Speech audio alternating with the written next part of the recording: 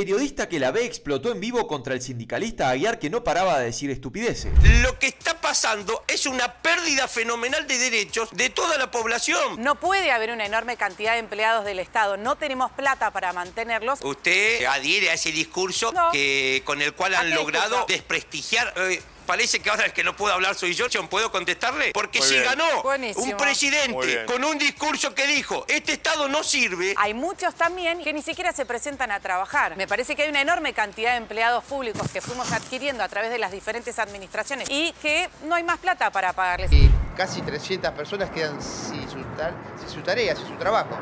Sí, buenos días. Eso solamente en el INTI, durante el fin de semana y a partir de últimas horas del día viernes, desde ATE hemos contabilizado más de 2.300 despidos en todo el país. Esto es comunicación fehaciente mediante un correo electrónico, vía WhatsApp o mm, hasta de manera verbal por un superior jerárquico. Enfrentamos un plan sistemático para destruir el Estado. Eh, los desaparecidos son los trabajadores despedidos. Este gobierno está condenando a los trabajadores y a sus familias a la muerte civil. Tuvimos que escuchar a un vocero presidencial que decía que bueno, que esta segunda ola de despidos tenía que ver con seguir limpiando, seguir barriendo el Estado. Si quieren limpiar el Estado, empiecen por Olivos y la Casa Rosada, pasen ahí la escoba porque está toda la basura junta. Lo que hay que tener en cuenta es que cada vez que se despide un trabajador o un tra- una trabajadora, eh, lo que hay es una pérdida de derechos para toda la población, los derechos sociales, eh, económicos y culturales que deben garantizar los estados, están estrechamente vinculados al trabajo que desempeñan las empleadas y los empleados públicos. Fabián, te está escuchando Rodolfo. ¿Qué tal, Aguiar? ¿Cómo está? Eh, una consulta porque le, bien, muy le- bien. le perdimos el, el- el hilo a la información. En el caso de Telam, que desde esta mañana no se llama más Telam, se llama APE, Asociación de Publicidad, Asociación, ¿no? Sí, Agencia de Publicidad del Agencia de Estado. Publicidad del Estado, Sociedad Anónima.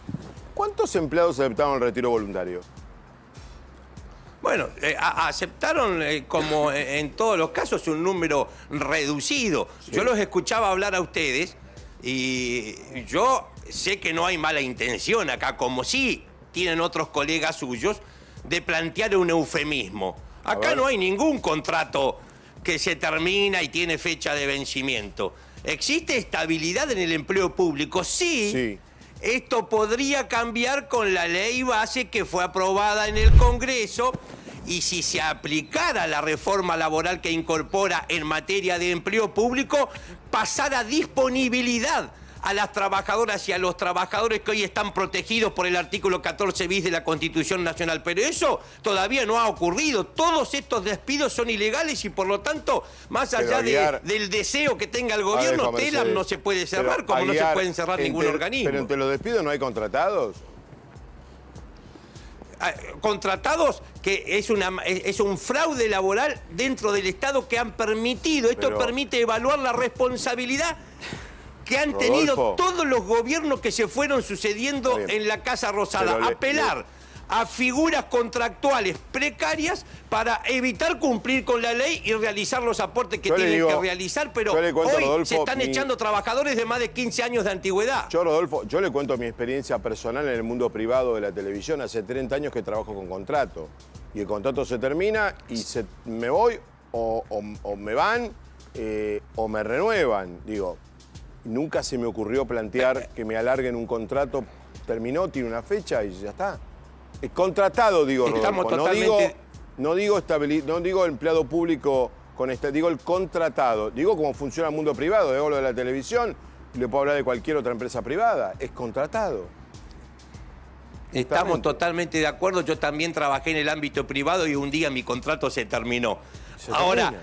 Hay que hablar de la legislación vigente en el país. ¿Y por al supuesto, legislación que quieren cambiar y que este debate no nos, no nos impida ver realmente lo que está ocurriendo. Acá no se está despidiendo porque se quiere ajustar o se quiere, como dice el gobierno, hacer desaparecer el Estado. Lo que buscan es tener un Estado distinto al que tenemos ahora, un Estado que solo esté al servicio de cuatro o cinco grupos empresarios. Son los planeros con exenciones impositivas, los violadores seriales de leyes laborales que como Galperín se fugan a Uruguay, los dueños de las energéticas No, bueno, que a tarifazo limpio se volvieron eh, ¿cómo en la? Argentina, No- no tarifazo que no- tiene no que pagar el, pueblo.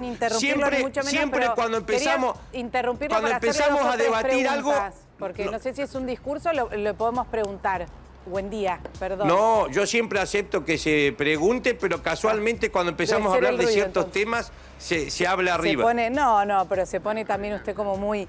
A ver, quería preguntarle, usted habló de estabilidad del Estado. ¿Qué quiere decir? Yo consigo un trabajo, como para que quede claro, consigo un trabajo por concurso a nivel legal, porque muchas veces, viste que uno cree que acá que el empleo público es hasta hereditario y vitalicio, pero ponele que consigo un concurso y demás, para explicarle a la gente, eh, ¿estabilidad del Estado quiere decir que yo tengo trabajo de por vida una vez que ingreso a trabajar en el Estado? Mire, está hablando con un sindicato que siempre ha planteado que tiene que existir para ingresar al Estado un concurso público de oposición y antecedentes, como usted refiere, Sí. que es la única manera de poder garantizarle a la sociedad que realmente lleguen a prestar pero- servicios los que resulten más capaces, Claro. más idóneos. ¿Pero qué quiere decir? ¿Que y no como trabajo hasta para ahora, toda la vida? Esa es mi pregunta. Cuando usted dice no estabilidad como del Estado. ya- y no como hasta ahora, ya llego a responderle, no como hasta ahora, que lo que funciona es el dedo del diputado, el dedo del senador, del ministro o del No, si presidente solamente pymes, para los ingresar y senadores eh, a- una al Estado. ahí adentro. Lo, lo entiendo. Pero reitero mi Entonces- pregunta. ¿Qué quiere decir? ¿Que tengo entonces, trabajo para eh, toda entonces, la vida? Hoy el artículo 14 bis, no lo decimos nosotros, lo dice el artículo 14 bis de la Constitución Nacional, que existe lo que se denomina estabilidad en el empleo público. Eso es un derecho adquirido desde hace mucho tiempo y cuando, cuando se construye ese derecho se da porque eh, eh, las administraciones llegaba una nueva y despedía absolutamente a todo el personal y el Estado no podía seguir funcionando. Esa realidad puede haber Sí, porque cambiado no frente tenemos a su políticos pregunta. a largo plazo, Ojo, lo demuestran los últimos 40 años. El país no crece hace 20. Me parece quizás, eh, Aguiar, esto es una observación que muchos argentinos, pero como somos, estamos ni una ni la otra cosa, entonces no medimos, no viste los tibios y se nos dice determinadas cosas, es no puede haber una enorme cantidad de empleados del Estado, no tenemos plata para mantenerlos y por otra parte no se puede, de- a ver, saquear el Estado. Me parece que es por ahí. Me parece que hay una enorme cantidad de empleados públicos que fuimos adquiriendo a través de las diferentes administraciones, como explicó usted, y que no hay más plata para pagarles. Entonces, hay muchos también, y esto es innegable, que tienen contratos, que tienen determinadas facilidades para tener, eh, obtener plata del Estado y un sueldo a través del Estado Nacional que ni siquiera se presentan a trabajar.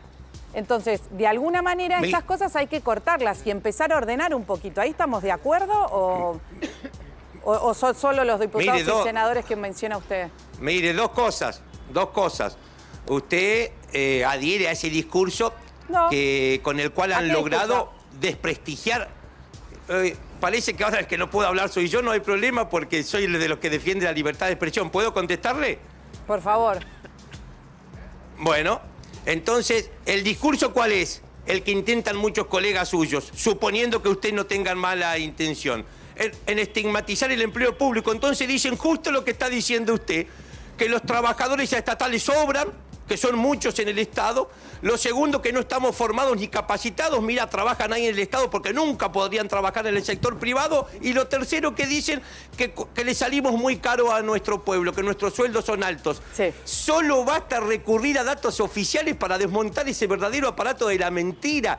Uno puede encontrar otros estados en el mundo que en relación a la cantidad de población tiene un número mayor de trabajadores, por ejemplo, estado francés, no es grande el estado argentino. El 51% de las trabajadoras y los trabajadores del estado tiene título universitario o, o- o terciario, eso no ocurre en el sector privado. Y por último, si analizamos la partida de gasto corriente del Estado, nos vamos a dar cuenta, primero está jubilaciones y pensiones, políticas sociales, subsidios económicos, y recién en cuarto lugar lo que se destina al gasto de, de personal. Por lo tanto, lo que tenemos que discutir acá es qué empieza a ocurrir con los despidos en el Estado. Al igual que pasó en marzo, una gran cantidad de los que echaron este fin de semana presta servicios en el interior del país. Hoy estamos teniendo un Estado nacional que en este momento agoniza en las provincias. Lo que está pasando es una pérdida fenomenal de derechos de toda la población. Por supuesto que frente a su pregunta decimos, estamos abiertos a discutir, porque Muy si bien. ganó Buenísimo. un presidente con un discurso que dijo, este Estado no sirve, este Estado tal vez con el correr de los años se ha venido alejando de las necesidades que tiene la gente Sí. y no le da la respuesta que la sociedad necesita. Nos sentamos en una mesa Bien. a discutir un nuevo Estado, pero ojo, Rodolfo. a este Estado no lo saquean los trabajadores, No a este mal. Estado lo saquean las grandes empresas, las multinacionales, con las diputadas y diputados sinvergüenzas Bien. que levantan la mano en el Congreso. Sí. Rodolfo, gracias. eh. Un, un saludo. Gracias, Rubino. Rodolfo Aguiar. Nosotros siempre los agradecidos. Gracias, Gracias, gracias. Hola gente, ¿qué tal? Bueno, espero que les haya gustado el video. Eh, suscríbanse si les gustó. Dejen su comentario. Hay que seguir bancando a este gobierno. Obviamente, como siempre, porque para mí es el único modelo que funciona. El modelo del socialismo ya, eh, ya no, sé, no sé. eh, ¿Qué más pruebas? A las pruebas me remito, ¿no? Para, para muestras un botón. ¿Cómo es la, la frase? Es así, gente. Eh, 50% de pobres dejaron. ¿Ustedes vieron cómo está Cuba? ¿Ustedes vieron cómo está Venezuela y todavía tienen ganas de seguir? Mamita, es como decir, no, hay que, eh, hay que jugar como un técnico que no sé qué, y de repente el técnico to- todos los años se fue a la B. Y voy a decir, no, no hay que jugar como ese técnico si todos los años se fue a la B. Vamos a jugar como Guardiola que gana la Champions. Y bueno, ya, no, hay que jugar como ese técnico. No sé. Eh, nada, gente, un saludo, muchas gracias, muchas gracias por ver el video. Y eh, acuérdense, suscríbanse, dejen su comentario, díganme de quién les gustaría que haga videos de Johnny Viale, Antonio Laje, además de los que ya hago, que suelo hacer de cruces, eh, cosas que pasan picantitas ahí en la, en la tele eh, o en la radio. Así que nada, gente, un saludo, muchas, muchas gracias por ver el video y nos vemos en el próximo video. Chao, chao.